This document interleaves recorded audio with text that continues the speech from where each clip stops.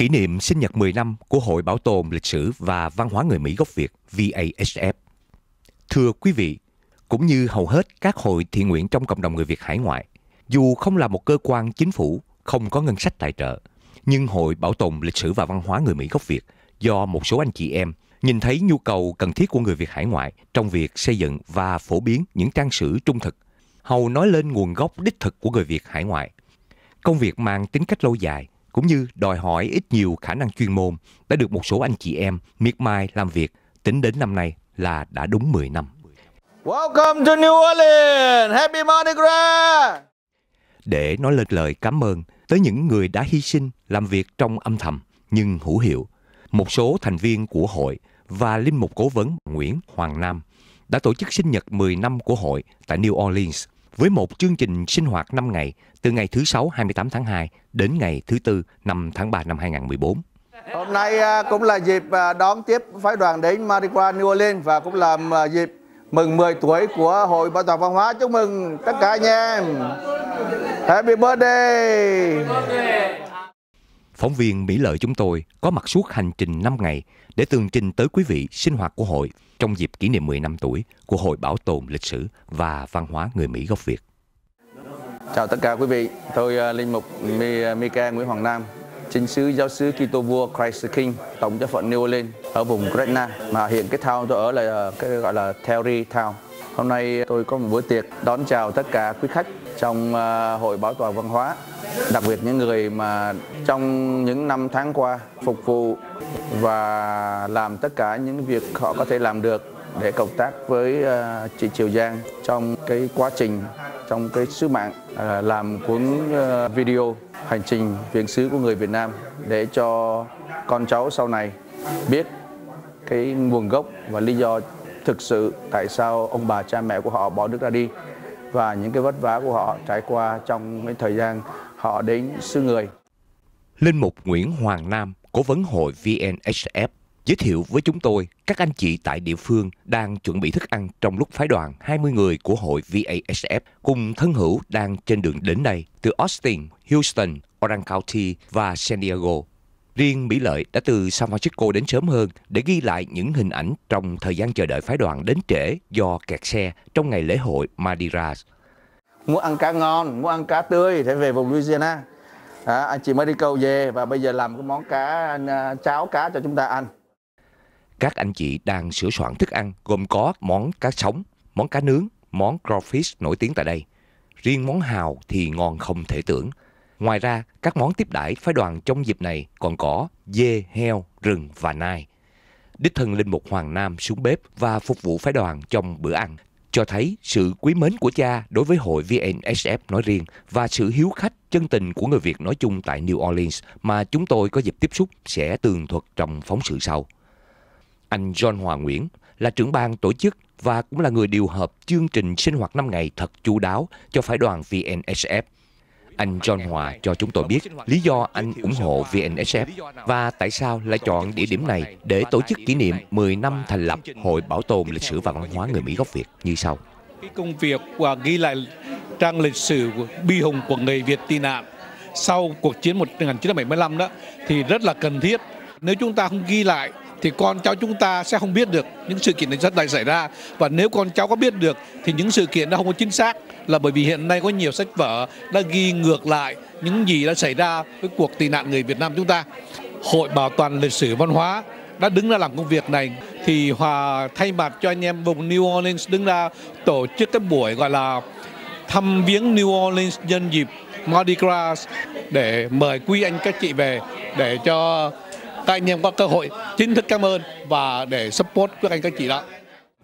Bác sĩ Trần Văn Đức từ Austin, Texas là một trong những sáng lập viên hội VNHF cho biết lý do lập hội bảo tồn lịch sử và văn hóa Việt Nam. Chúng tôi mới ngồi và suy nghĩ rằng mình phải bằng cách này hay bằng cách khác giúp cho con em của mình và không những con cháu chúng ta mà cả những người Mỹ và không những ở bên Mỹ mà tất cả các giới trẻ con tại Việt Nam thấu hiểu được lý do tại sao có một số hơn triệu người bỏ nước ra đi vì tự do, vì công bằng. Chị Mỹ Ngọc, cư dân Los Angeles, được mời tham gia chương trình 500 cuộc phỏng vấn của hội. Chị cho biết. Tôi phỏng vấn cũng được cũng khá nhiều cũng được mấy chục người đó. Phỏng vấn về đề, đề tài gì chị thế phỏng vấn về cái cái cái đời sống tại sao họ đến đây? À, họ đến đây lúc nào và cái hành, cái, cái hành trình họ đi ra sao? Lúc họ làm việc ở họ làm việc ở Việt Nam họ là người sao? Họ đến đến Mỹ họ làm sao? Rồi cái cuộc sống họ ra sao? Họ có thích hợp với cái đời sống họ thất bại hay là họ uh, thành thành công ở cái xứ sở này? Tiến sĩ Đặng Thiệu là thành viên hội đồng quản trị của hội cho biết. À, hiện nay những cái tài liệu chúng tôi phỏng vấn đã đưa vào một số trường đại học như là UCI, Rice, uh, University of Texas và Texas uh, uh, ở trên Lubbock. Cái việc đưa vào trường đại học nó dễ mà khó. Tại vì chúng tôi phải kiếm xem những cái trường đại học nào có những cái chương trình phù hợp, tức là lịch sử Mỹ, American History. Thì trong cái lịch sử của Hoa Kỳ đó có bộ môn của người Mỹ gốc Việt hay không? Đó là một vấn đề. Cái thứ hai là làm sao phải móc nối với cái trường đại học đó để mà giới thiệu những cái buổi phỏng vấn và lịch sử của người Việt Nam mà đã di cư sang đây từ năm 1975. Chị Chánh, cư dân New Orleans, chia sẻ vì sao anh chị luôn giúp hội VNSF khi hội về đây. Dạ thưa anh, sở dĩ mà tôi ủng hộ cái việc công việc làm của hội đó là tôi thấy là hội làm một có một việc làm rất là tốt cho à, tương lai thế hệ trẻ của chúng ta ở bên hải ngoại những cái việc làm và những cái hoạt động của hội à, giúp các em hiểu rõ là tại sao các em có mặt ở đây anh Huỳnh Hồng Quân, hội trưởng Hội Cựu Sinh viên Sĩ quan Trừ bị Thủ Đức Louisiana và là Tổng hội trưởng Tổng hội Cựu Sinh viên Sĩ quan Trừ bị Thủ Đức Hoa Kỳ cho biết.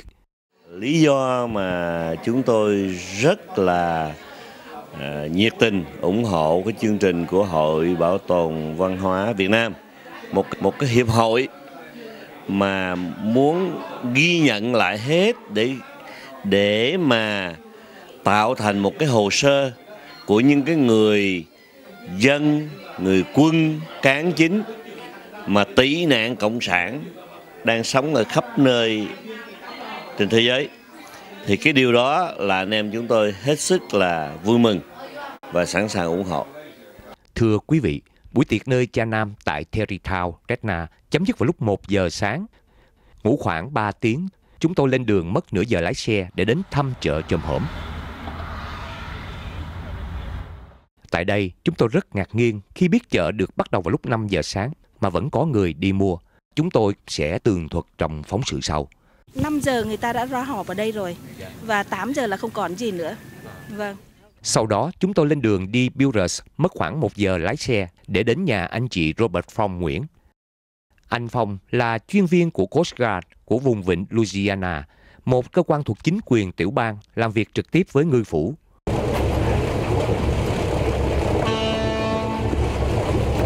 Tàu Kim Princess được chính chủ nhân là anh Phong điều khiển chở phái đoàn 20 người của hội, trong đó có anh chị Minh Nguyễn, thân hữu của hội tại New Orleans, cũng ra khơi trong chuyến hải hành kỳ thú này.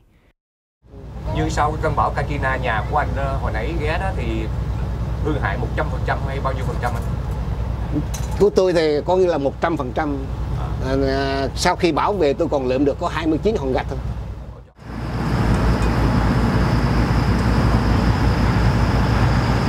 Mình cứ để vậy mình đi mà khi nào mà, mà ban đêm á mình thấy mình thấy không mình đụng tôm đụng tôm nó nhảy nó nhảy lên lưới mình nhìn thấy nè.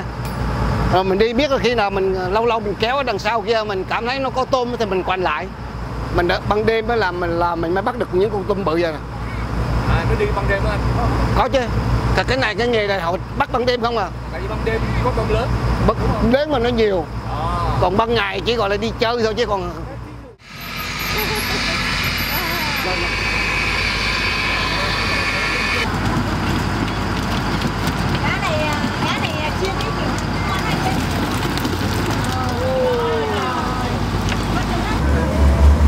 anh nói phóng sinh hết mà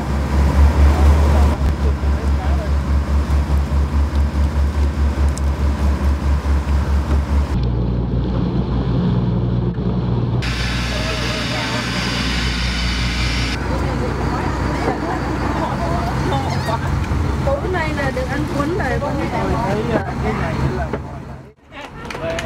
là được rồi, được rồi, được rồi, được rồi. Dạ em con nhỏ nhưng mà em là trường đang xin là hội trưởng hội bảo tồn lịch sử văn hóa em xin thay mặt tất cả các anh anh chị ở đây để chân thành cảm ơn hai anh chị đã tạo cơ hội cho hội chúng em đi ra ngoài khơi đánh tôm và bắt được rất nhiều cá ngày hôm nay à, và một cái cuộc đi chơi rất vui vẻ à, bổ ích à, tạo được cái dây thắt chặt được cái tình thân hữu cũng như là gắn bó giữa hội và những người ân nhân như anh chị à, một lần nữa chúng em chân thành cảm ơn cho chúng em ngày rất là bổ ích và rất là vui mừng. À, chúng em xin cảm ơn. Tụi em là rất là vui mừng. Các anh từ phương xa mà bỏ về đây đến thăm một cái quê hương nhỏ bé như thế này. Và hơn nữa là có nghĩa là chúc sức khỏe làm sao có sức khỏe và để âm thầm làm việc để mang lại những gì mà con người Việt Nam của chúng ta bị quan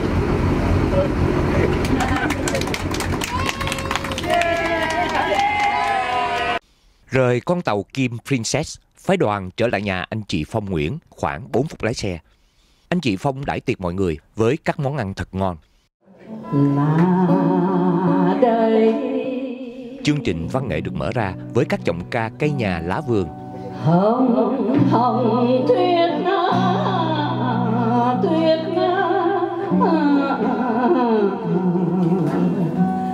mới ngày nào còn chưa biết cái chi chi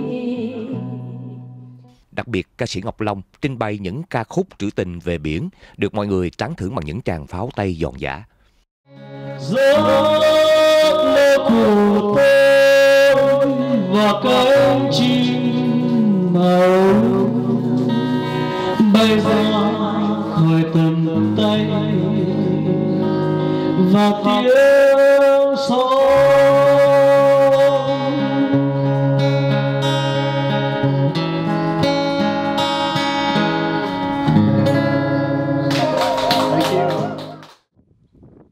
Phái đoàn ngủ tại Piras được anh Phong Nguyễn và anh Hòa Nguyễn lo chu toàn.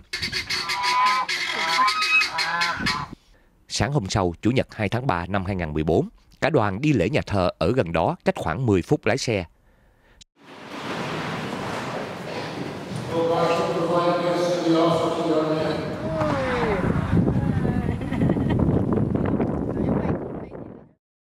Sau khi dùng bữa trưa tại nhà anh Phong, phái đoàn chia tay anh chị Phong lên đường đến vùng đông ngạn New Orleans, nơi có ngôi làng Việt Nam duy nhất trên đất Mỹ, làng mang tên Versailles. Và gần đó là nhà thờ Maria Nữ Vương Việt Nam. Cha chánh sứ Nguyễn Văn Nghiêm, anh Trần Cao Toàn, thư ký hội đồng mục vụ, thích đãi một bữa ăn tối do đầu bếp Nguyễn Đức Thọ nấu những món ăn thật ngon. Bữa tối còn có sự có mặt của cha cố vấn Michael Hoàng Nam, anh Châu Lương, chủ tịch hội Ignite Columbus và phu nhân là chị Liên Lương, cùng một số thân hữu tại New Orleans như chị Chánh và Liên, vân vân. Cha chánh sứ Nguyễn Văn Nghiêm nói lời chúc mừng 10 năm thành lập hội VNSF trích đoạn. Chúc mừng hội, nhất là chị ờ, Triều Giang và những người cộng tác với chị trong vấn đề mà bảo tồn văn hóa cái đó rất là quan trọng. Ở đây tất cả mọi người đều có cái khuynh hướng là bảo vệ cái cái bảo tồn văn hóa của mình. Có thể bây giờ chúng ta không có gọi là ảnh hưởng nhiều nhưng mà tương lai của con cháu uh, ảnh hưởng rất nhiều. Và chính cái đó mà uh, hội đã tạo nên những cái điều kiện này cũng như để cho những người khác họ đóng góp vào những cái ý kiến của họ uh, đại diện cho tất cả anh em yêu lên ở đây. Uh, xin chúc mừng 10 năm uh, sự cố gắng của chị cũng như tất cả mọi người. Chị Triều Giang thay mặt hội ngỏ lời cảm ơn đến quý cha và quý thân hữu tại New Orleans trích đoạn. À, những vị lãnh đạo thiên thần như à, quý cha đây cũng như bà con mình đây chúng con thấy như ở đây là một cái quê hương của mình, quê hương à, ngoại, quê ngoại của của hội. Và cũng như cha nói đó văn hóa Việt Nam còn thì đất nước Việt Nam còn. Dù mà nó có mất đi thì nó cũng có cơ hội để lấy lại bởi vì cái văn hóa Việt Nam vẫn còn ở trong lòng mỗi người đặc biệt là giới trẻ. Do đó và chúng con uh, kiên tâm uh, quyết tâm uh, làm với cái sự hỗ trợ của uh, quý cha cũng như là bà con mình ở lên này nói riêng cũng như của người Việt Nam khắp nơi nói chung chúng con một chân thành cảm ơn cha trong cái ngày kỷ niệm 10 năm của hội hôm nay. nhưng mọi người đáng cảm ơn ở cha này Ủa sao vậy? ông rất là nhiệt thành Cha cắt, Đấy. cắt cái bánh giùm con. và cái này giờ phải cắt đi không có rồi giống giống như là cái băng tuyết ở, miền à, cái miền à, xứ nó đang là nóng nảy nó đang như là chảy Hai anh em mình cắt ha. Rồi. À. Rồi. Thôi cắt một lần chết. Thưa quý vị, chúng tôi hân hạnh được tiếp xúc với Linh Mục Nguyễn Văn Nghiêm là cha chánh sứ của giáo sứ Maria Nữ Vương Việt Nam. Tôi rất là mừng là về một cộng đoàn à, thấy dân chúng làm việc rất là à, chân thành yêu thương và sẵn sàng à, hy sinh thời giờ của mình. Mà chính chính cái đó nó đưa đến cái sự thành công. Chúng tôi được anh Trần Cao Toàn, thư ký Hội đồng Mục vụ cho biết về dự án xây dựng công viên các thánh tử đạo Việt Nam trên phần đất gần 29 mẫu thành khu du lịch và hành hương tại làng Việt Nam. Chúng tôi sẽ tường thuật chi tiết trong phóng sự sau. Mời quý vị theo dõi. 8 giờ sáng thứ hai ngày 3 tháng 3 năm 2014, trên đường trở lại viếng thăm làng Việt Nam, chúng tôi được tour guide Trần Cao Toàn hướng dẫn và giới thiệu về lịch sử của làng Versailles, thăm bãi đậu của các tàu đánh cá và nơi làm việc của các ngư phủ. Chúng tôi cũng ghé thăm trung tâm Phật giáo Vạn Hạnh, nhưng sư cô Thanh Trang chủ trì chùa đã đi vắng. Sau đó, phái đoàn lên đường đến nơi diễn hành Lendiras để cổ động cho đội lân cộng đoàn Woodlaw của họ đạo Thánh Giuse. Đây là lần đầu tiên mùa lễ hội Madiras có đoàn lân Việt Nam được mời tham gia diễn hành vào chiều ngày Lendiras, gọi là ngày thứ hai mập, ngày 3 tháng 3 năm 2014, với đại diện cho đoàn lân diễn hành là anh John Hòa Nguyễn và anh Phạm Duy Văn.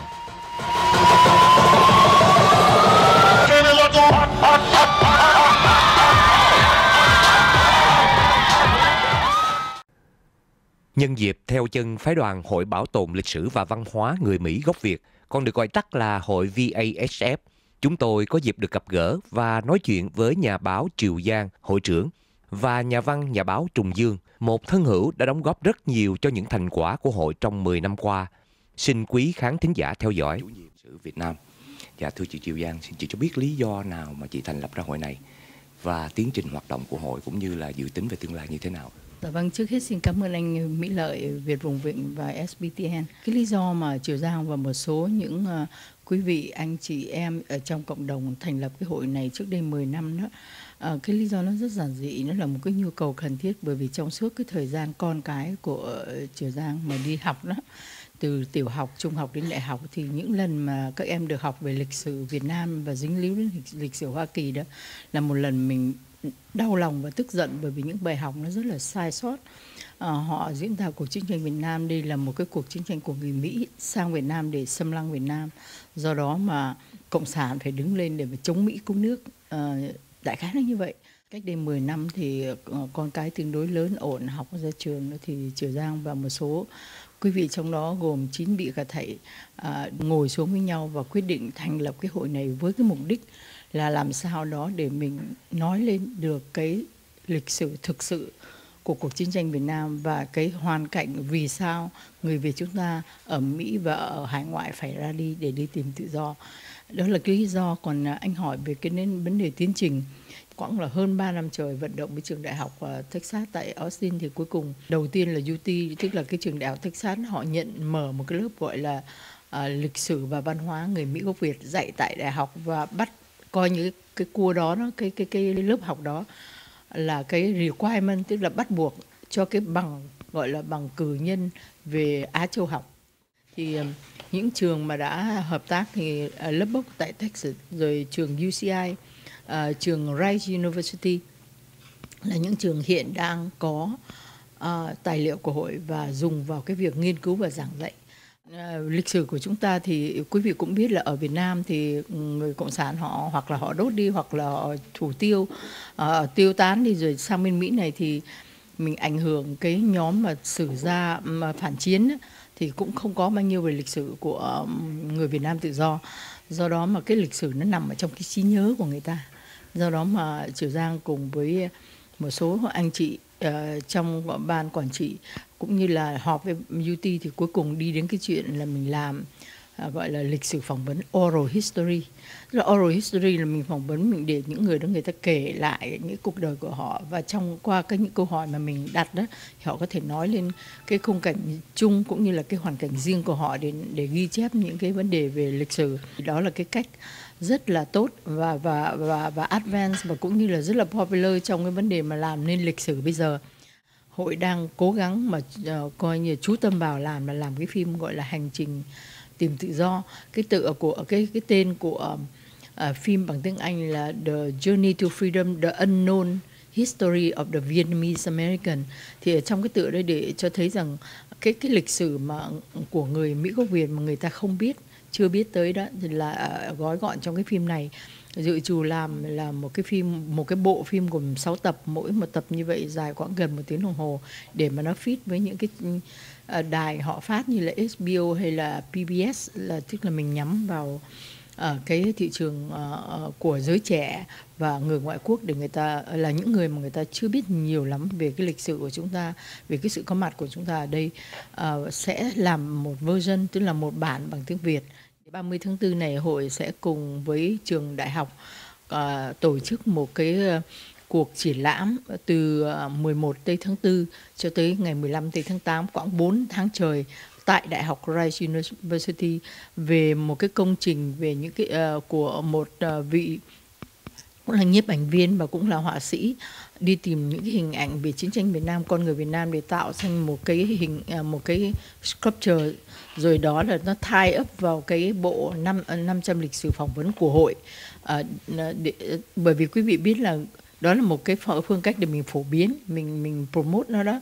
Và cái cuộc uh, triển lãm này nó vừa nói về những cái hình ảnh đó vừa nó đưa ra cái bộ ờ, 500 lịch sử phỏng vấn của mình để lôi cuốn những cái người người ta đi tìm hiểu người ta đến à, thành thử đó là những cái công việc tiếp nối của hội ngoài vấn đề làm phim thì vẫn có những cái chương trình để mà đi phổ biến như vậy. Um, Nhà văn Trùng Dương, chủ nhiệm báo Sống Thần tại Sài Gòn trước năm 1975, là thân hữu của hội VNHF, cho biết chị bắt đầu làm việc với hội khi nào và công việc của chị? Như là một thân hữu vậy vì bởi vì Triều Giang với tôi là quen biết từ cái hồi mà trước 75 làm báo với nhau ở Sài Gòn ờ, tờ Sóng Thần mà cho đến khi mà chị bắt đầu bị một số người vì ganh tị cá nhân họ đánh chị họ thảy những cái tin tức là không có chính xác về chị ở trên internet như là nói là chị ờ, về Việt Nam rồi cộng tác với Việt cộng rồi cái vụ mà ở hội lấy tiền đâu ra mà làm việc thì chắc là phải là tiền Việt cộng. Thế tôi thấy vậy thì tôi cũng là ừ, chính thức thì tôi đi vô, vô để mà tôi hoạt động với chị góp tay vào đó để mà mà mà, mà, mà xây dựng cái cái bộ sự của người Việt di dân. Bởi vì cái nước Hoa Kỳ là một nước di dân mà lịch sử Hoa Kỳ là lịch sử người di dân. Thành ra chúng ta phải có tiếng nói. Và chúng ta nếu có chúng ta có tiếng nói thì chúng ta mới có sức mạnh để mà làm cái gì đó. Nếu chúng ta muốn công việc của tôi đó là là tôi tôi chụp hình vậy tôi người nào có tài liệu đem hình ảnh tới thì tôi hoặc là scan hoặc là chụp lại để mà giữ trong cái văn khố thì cùng với lại cái cái cái, cái hồ sơ ừ, nói chuyện phỏng vấn của họ. À, và và ờ, khi nào mà không đủ người để mà phỏng vấn á, thì tôi cũng nhảy vô tôi cũng phỏng vấn. Nhưng mà rồi sau đó thì lại gom những cái hình ảnh mình thu thập được rồi viết thành bài phóng sự gửi cho các báo này kia cái nọ. Thưa quý vị trong phần chúng tôi phỏng vấn chị Triều Giang có nói đến bộ phim tiếng Anh 6 tập mang tên Journey to Freedom mà hội đang cố gắng hoàn tất để nói về hai cuộc di cư vĩ đại của người Việt vào năm 1954 và năm 1975. Nhân đây, mời quý vị xem 3 phút giới thiệu về bộ phim tài liệu này.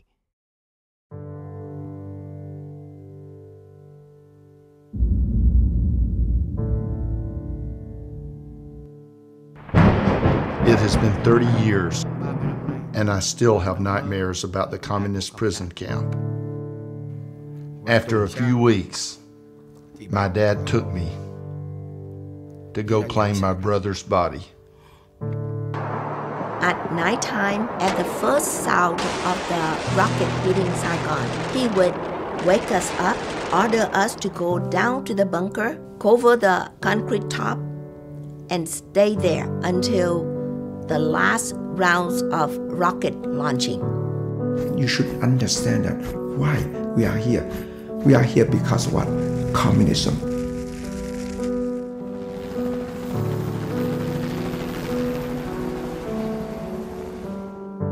And it's really gratifying to someone like me to see this, that, that the Vietnamese, like all the other immigrants, are able to come here and, and, and fit in and adapt and find their own place in American society.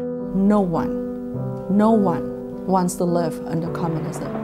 No one wants to lose the most basic right of any human being, the right to be free and to pursue happiness.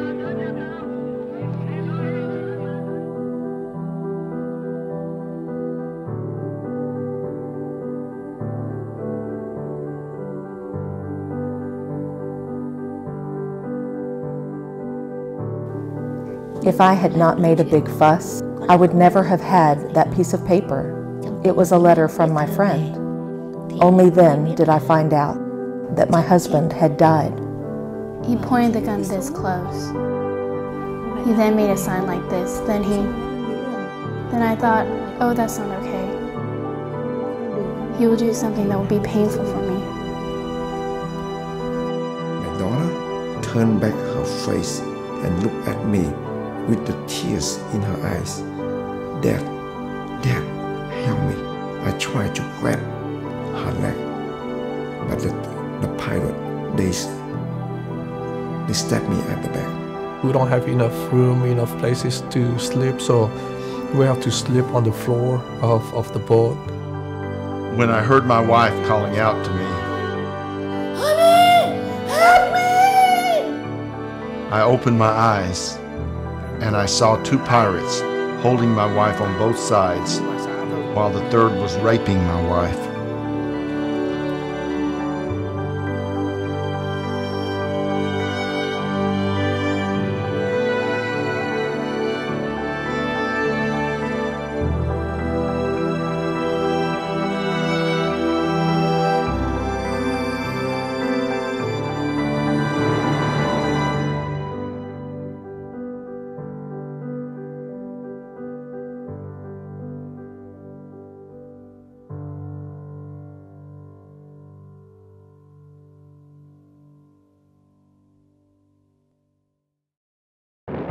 Thứ ba ngày 4 tháng 3 năm 2014, ngày bế mạc của Madiras, nhưng buổi sáng trời mưa tầm tã và gió lạnh như cắt da. Cả đoàn ngồi ở nhà xem Madiras qua TV. Buổi chiều, đoàn đi đến thăm Thượng tọa Thích Nguyên Tâm tại chùa Liên Hoa, nơi đang được xây cất lại. Nền ngôi chùa đang được đổ móng, nhưng nội thất của chùa đã được mua sắm. Buổi tối cùng ngày, sinh hoạt văn nghệ và tiệc chia tay với cha cố vấn Michael Hoàng Nam. Ngoài những tiết mục văn nghệ hào hứng, phần chia sẻ tâm tình đã gây xúc động cho mọi người. Sáng thứ tư, trời đã quang, mây đã tạnh và không khí ấm áp hơn cho bước chân đi về của các anh chị em VNSF. Thưa quý vị, chúng ta không có chính quyền, không có ngân sách để làm những việc công ích. Chúng ta chỉ có những tấm lòng thiện nguyện của những người Việt Nam còn thao thức về hai chữ Việt Nam. Họ đã sắn tay áo để phục vụ cho lĩnh vực giáo dục và văn hóa. Rất âm thầm nhưng hữu hiệu để bảo tồn hồn thiên sông núi. Rất mong người Việt chúng ta không thờ ơ, không làm ngơ và không vô cảm để sao cho văn hóa Việt còn thì nước Việt còn. Mỹ Lợi tường trình từ New Orleans xin thân ái kính chào quý vị.